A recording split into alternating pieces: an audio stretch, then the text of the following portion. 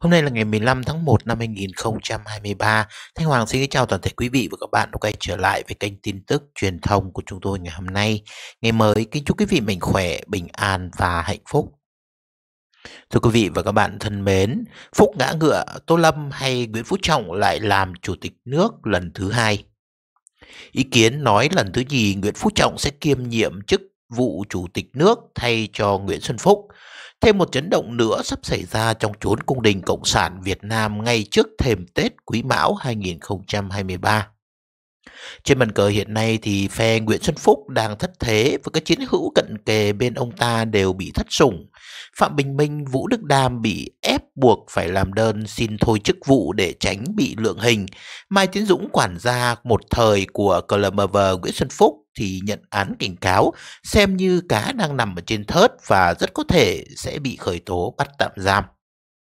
Vòng vây đang khép dần và phe tấn công đang ra đòn khốc liệt nếu như mà không đáp ứng nhượng bộ, rất có thể còn nhiều vụ bắt bớ nhắm vào thuộc hạ các công ty sân sau của gia đình ông Chủ tịch nước Nguyễn Xuân Phúc sẽ bị điều tra và bị sới tung lên. Đến nay thì em họ của ông Nguyễn Xuân Phúc đã bị khởi tố bắt tạm giam. Con gái và cả phu nhân của ông Nguyễn Xuân Phúc đang phải đối mặt với các cáo buộc là chùm cuối trong đại án KISS test COVID-19 Việt Á. Khi mà mọi mối quan hệ đều rơi vào tầm ngắm của cơ quan điều tra, ông Nguyễn Xuân Phúc bị đưa vào thế khó.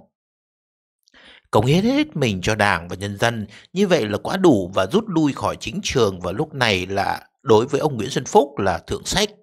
Ông Nguyễn Xuân Phúc sẽ nhẹ nhàng về quê thui vú, vui thú điển viên ở tuổi tròn 70, Đảng sẽ công bố với dân chúng rằng xét nguyện vọng cá nhân và tình hình sức khỏe và hoàn cảnh gia đình nên đồng ý cho ông thôi nhiệm vụ về làm người tử tế theo người đàn anh của mình đó là ông bà X Nguyễn Xuân Dũng. Và đương nhiên thì đại án Việt Á sẽ nhanh chóng được xử án mà không cần phải điều tra mở rộng nữa. Vậy, khi Nguyễn Xuân Phúc bị ngã ngựa, ai sẽ thay thế nếu như Nguyễn Xuân Phúc phải về vườn? Thông tin dò dỉ cho hay có hai phương án đang được tính tới. Lần thứ hai, Tổng bí thư Nguyễn Phú Trọng sẽ kiêm nhiệm chức vụ Chủ tịch nước cho đến hết khóa 13 hoặc bầu bổ sung nhân sự mới.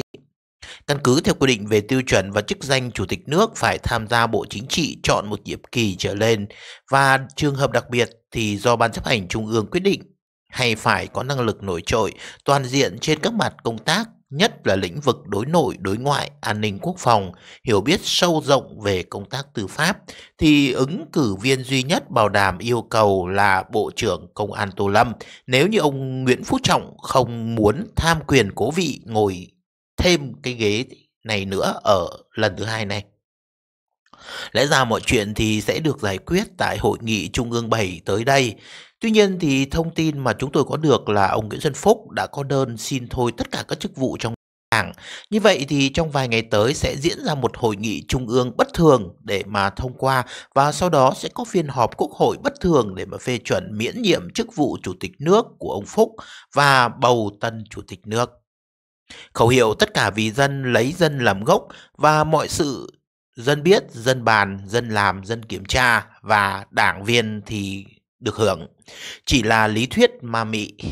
Trong thể chế cộng sản nhà nước độc tài, toàn trị và mọi vấn đề nhân sự chóp bu và những cuộc tranh chấp kinh thiên động địa chỉ cần một nhóm người đang thâu tóm quyền lực quốc gia định đoạt.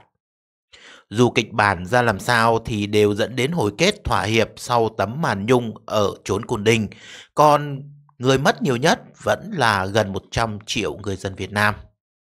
Còn theo Lê Hải Triều thì nếu như mà Tô Lâm, Tô Đại Tướng thành công ngồi tốt vào ghế Chủ tịch nước do Nguyễn Xuân Phúc vừa mới nhả ra thì có thể biết đâu hệ thống loa phường sẽ được kéo về tận từng hộ dân. Thủ đô Hà Nội sẽ có thêm quảng trường an ninh thay cho cái quần thể lố nhố trên đường Trần Nhân Tông.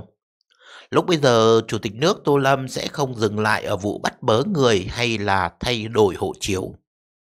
Ngày 15 tháng 9 năm 2022, tại Ủy ban Thường vụ Quốc hội Hà Nội, Bộ trưởng Công an Tô Lâm đưa ra một nhận định xử một vụ án thôi mà cảnh tỉnh cả một lĩnh vực, cả một vùng.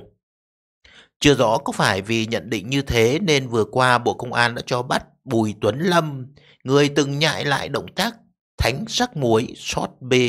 Ông ta phục vụ món bò rất vàng cho Tô Lâm Bộ trưởng. Vụ bắt bớ này đã gây nên nhiều dư luận lẫn lộn, vừa ngạc nhiên vừa không ngạc nhiên. Không ngạc nhiên vì ở một xứ đảng Cộng sản đứng trên cả hiến pháp thì chuyện gì cũng có thể xảy ra, còn ngạc nhiên là vì không ngờ sự nhỏ mọn của những người Cộng sản lại lớn đến như vậy. Nhà báo tự do Jack Hammer Nguyễn từng đề cập đến vấn đề này hồi họa sĩ họ Bùi bị cưỡng chế suýt phải đốt hết tranh của mình qua bài viết Bạo lực và thù vặt của Cộng sản qua câu chuyện ông Bùi Chát. Lý do là vì Bùi Chát trước đây thường hay có những ý kiến phản biện trên các trang mạng xã hội nên đảng hận ông ta. Nay ông Lâm bún bò cả gan nhại lại Lâm Bộ trưởng sơi bò rắt vàng, cho nên ông Lâm Bộ trưởng cũng hận và trả thù Lâm Giặc Hạnh. Nhưng ngoài chuyện nhỏ mọn có thể thấy thêm vài điều thú vị đằng sau vụ bắt bớ này. Thứ nhất, quyền lực của Tô Lâm sơi bò rất vàng rõ ràng đang lên. Có lời đồn ông Lâm có khả năng sẽ thay thế ông Nguyễn Xuân Phúc. Thứ hai là phong trào chống đối ở trong nước dường như là đang cạn kiệt và đến nỗi cơ quan công an không có gì để mà làm phải đi bắt những người vô hại như là ông Lâm bún bò giác hành. Dù sao thì Tổng bí thư Nguyễn Phú Trọng vẫn muốn sửa lại dấu ấn lịch sử sau hơn 10 năm đứng mũi chịu sào ở vị trí cao nhất của Đảng và Nhà nước. Ông đã bỏ tù được một cựu ủy viên Bộ Chính trị đó là Đinh La Thăng và một lô một lốc tướng lĩnh và các ủy viên Trung ương. Và mới đây nhất đó là ông ủy viên Trung ương Đảng, ông Phạm Bình Minh và ông ủy viên Bộ Chính trị Vũ Đức Đam. Nhưng ông Thăng cũng chỉ là tảng băng nổi mà bên dưới vụ này còn vô số câu chuyện mà người dân, kể cả các đảng viên sẽ không bao giờ biết sự thật về một vụ tham nhũng kinh thiên động địa. Nhất là chuyện có phải ông Thăng dám mắng mỏ công khai các nhà thầu Trung Quốc nên đã phải trả giá đắt như vậy hay là không? Trong quá trình điều tra vụ Việt Á có hai điểm nghẽn liên quan đến Tổng bí thư Nguyễn Phú Trọng mà Tô Đại tướng đang tìm mọi cách để vượt qua để giúp Tổng chủ lập kỷ lục. Thứ nhất là hiện nay hàng trăm con mắt đang đổ dồn vào cái huân chương có chữ ký của Tổng chủ. Và thứ hai, rất nhiều dây dợ lôi ra từ vụ án siêu quốc gia ấy lại có liên quan mật thiết tới một trợ lý Tổng bí thư Kẹt một nỗi, dù có trổ hết tài nghiệp vụ thì đối với Việt Á cũng như là những vụ đại án khác, Tô Đại Tướng chỉ có thể xoay sở ở trong phạm vi đất nước Việt Nam. Càng gần đến ngày Hội nghị Trung ương 7, Tổng bí thư của Đảng Cộng sản Việt Nam Nguyễn Phú Trọng càng phải đối mặt với nhiều đợt sóng ngầm trong nội bộ, đặc biệt là từ đầu năm Báo chí và các trang mạng xã hội tràn ngập tin tức về chuyện Việt Nam sắp có tân Tổng Bí thư cũng như là tân Chủ tịch nước này. Theo đó, thay mặt Bộ Chính trị, Ủy viên Bộ Chính trị Thường trực Ban Bí thư Võ Văn Thưởng ký quyết định số 80 của Ban chấp hành Trung ương Đảng về phân cấp quản lý cán bộ và bổ nhiệm giới thiệu cán bộ ứng cử. Tăng cường tính tập quyền cho số ủy viên Bộ Chính trị còn lại chưa bị rớt để Tổng Bí thư Nguyễn Phú Trọng có thể an tâm trị vì trên ngôi báu. Nhân sự cấp cao sẽ được Bộ Chính trị chuẩn thuận trên tiền đề của một chiếu chỉ từ đâu đó sau các màn đấu đá hậu trường. Ghế lãnh đạo tối cao của Đảng Cộng sản Việt Nam cũng có thể là kết quả so kè giữa Phạm Minh Chính, Vương Đình Huệ, Võ Văn Thưởng và có thể thêm một vài vị nữa. Tuy nhiên, ngay cả đến tin đồn đoán ông Nguyễn Phú Trọng sẽ rút lui khỏi chính trường vẫn phải chờ đến phút 90 mới có kết quả cuối cùng. Và có một luật bất thành văn trong Bộ Chính trị Đảng Cộng sản Việt Nam là những thành viên bộ tứ, dù có bê bối đến đâu thì cũng không bao giờ có chuyện đưa ra sự công khai, với lý do là để giữ uy tín cho Đảng Cộng sản Việt Nam. Hai trường hợp gần đây nhất là vụ bỏ phiếu định kỷ luật nhưng bất thành đối với đồng chí X hồi tháng 10 năm 2012, tức Thủ tướng Nguyễn Tân Dũng và cái chết mờ ám của đương kim Chủ tịch nước Trần Đại Quang tháng 9 năm 2018 và bây giờ là đến lượt CLMV Nguyễn Xuân Phúc. Đây là những trường hợp sốt réo và là bài học nhãn tiền cho những đồng chí nào chưa bị lộ hay chỉ mới bị lộ một phần. Liệu ông Nguyễn Phú Trọng có xử lý gọn ông chủ tịch hay là không và chúng ta hãy chờ chỉ ít ngày nữa thôi. Dư luận cho rằng nếu Tổng Bí thư ép được ông Phúc rút lui thì đó là lý tưởng nhất để Tổng Bí thư có thể trao cái ghế chủ tịch nước cho ông Tô Lâm hoặc là ông ta sẽ tiếp tục ngồi ở nhiệm kỳ thứ hai. Như là một giải khuyến khích trong cuộc đua nan giải đang diễn ra hoặc ông ta sẽ kiêm nhiệm làm chủ tịch nước lần thứ nhì. Tuy nhiên,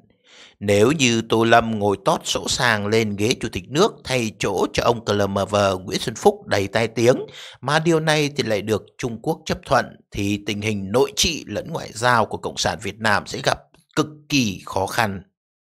Quan hệ với Hoa Kỳ chỉ được triển khai các bước nhỏ, Trung Quốc tiếp tục cản trở nâng cấp bang giao Việt Mỹ lên đối tác chiến lược và tiếp tục nắm sâu và lũng đoạn nội bộ lãnh đạo Cộng sản cho bù Việt Nam.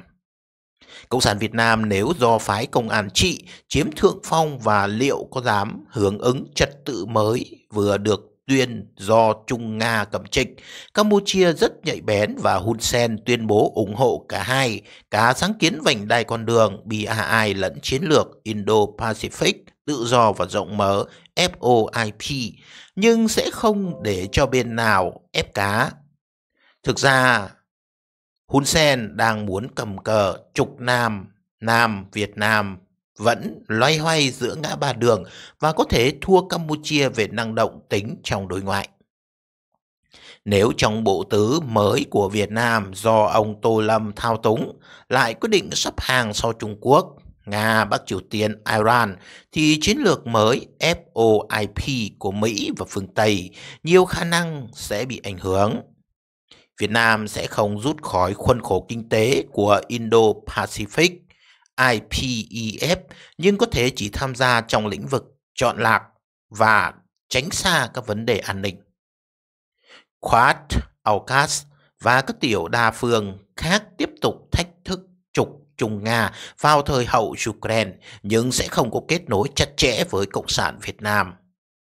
Xáo trộn ở Trung ương 7 ở xứ Cộng sản Việt Nam tới đây liệu có ảnh hưởng trực tiếp gì đến cấp cao của IES 17 và APEC 33 hay là không thì chúng ta chưa có thể dám chắc.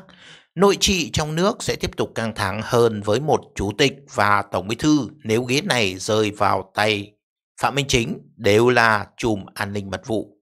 Khi Tô Đại Tướng thành công ngồi tót vào ghế của Chủ tịch nước Nguyễn Xuân Phúc vừa bị ngã ngựa, biết đâu hệ thống loa phường sẽ được kéo về đến tận từng hộ dân.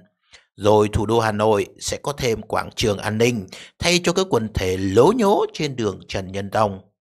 Lúc bây giờ, Chủ tịch nước Tô Lâm sẽ không dừng lại ở vụ bắt bớ người hay thay đổi hộ chiếu nữa.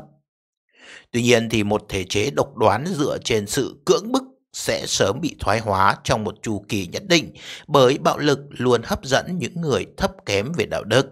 Nối nghiệp các bảo chúa luôn là những kẻ bất lương và họ sẽ sớm phải trả giá. Xin chân thành cảm ơn thời gian theo dõi của quý vị và các bạn đã dành thời gian theo dõi chương trình của chúng tôi đến phút cuối. Hãy để lại những lời bình luận góp ý ở bên dưới video để giúp cho chúng tôi thực hiện cái chương trình kế tiếp một cách tốt hơn. Hãy bấm nút chia sẻ để cho thông tin được lan tỏa đến với nhiều người hơn. Hãy bấm nút đăng ký để trở thành thành viên tích cực của kênh. Và đừng quên bấm vào hình cái chuông bên cạnh nút đăng ký để nhận được những thông báo nhanh nhất, sớm nhất và không bỏ lỡ bất cứ một chương trình nào mà chúng tôi sắp phát hành. Xin thành cảm ơn và hẹn gặp lại quý vị và các bạn trong các chương trình kế tiếp của chúng tôi.